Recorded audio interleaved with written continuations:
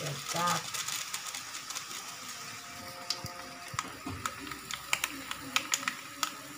Kenapa?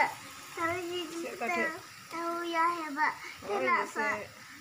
Kenapa?